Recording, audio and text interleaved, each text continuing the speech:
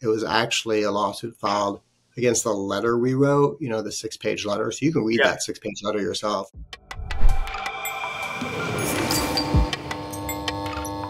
Was that was that because I just read it on Twitter? Was that like real at all? Like, was that like a real like actual like lawsuit that you guys got hit with? Yeah, we're we're in the middle of it now. We have, um, you know, I think it's a frivolous lawsuit.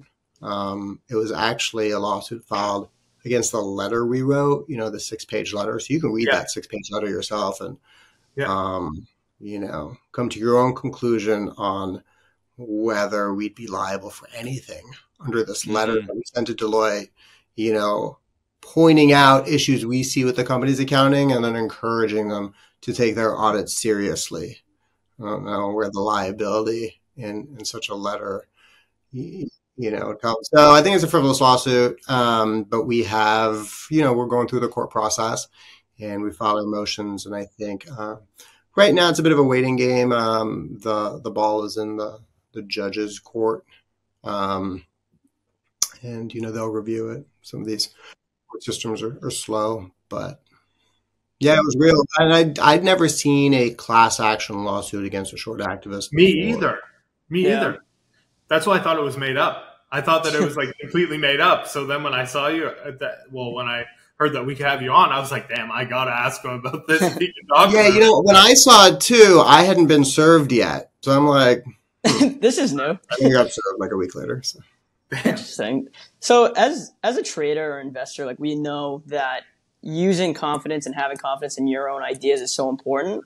When you get hit with like negative reaction from the companies that you're you're suing or people that are companies that you're shorting or investors in that company that are that are upset, you know, does that ever is that hard for you to then maintain the course and like get like keep going on your idea or do you ever get like stressed out or frustrated by the reaction you receive? I don't think so. I No. uh, yeah, I've just been doing this for a long time, and um, it's been a lot of negative comments.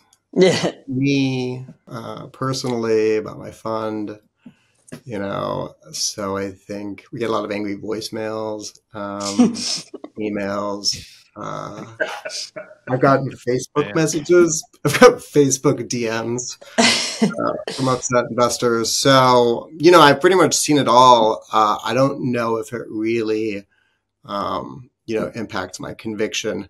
But we uh, just on the fundamentals, uh, y- you know, we're we're interested in hearing what what others have to say, and um, you know, a lot of people just like call me names, but uh, people who post on Twitter, you know, genuine counter arguments. Um, you, you know, we look at those, and um, you know, if we if we if it changes our mind, well, we usually don't sort of like, you know, write about how it impacts our thinking. We just sort of let the original report just sort of stand on its own. Um, but you know, we can close a position out if if we feel that we're wrong, but that happens very rarely. Um, you know, I think most of the time when we get trades wrong, it's because of stuff that happens with the market. You know, like Carvana, for instance, that stock, Carvana and AI, I think those stocks ultimately doubled a month or two after publication. At this point, I think um, AI has retraced all the way back down, but Almost back. on its way down. Um, but you know, I think we're right about our original thesis. Uh, but um, you know, we'll we'll look at what people have to say, and and sometimes respond to it, but usually just sort of like use it um, to sharpen our own thinking on on the stock and our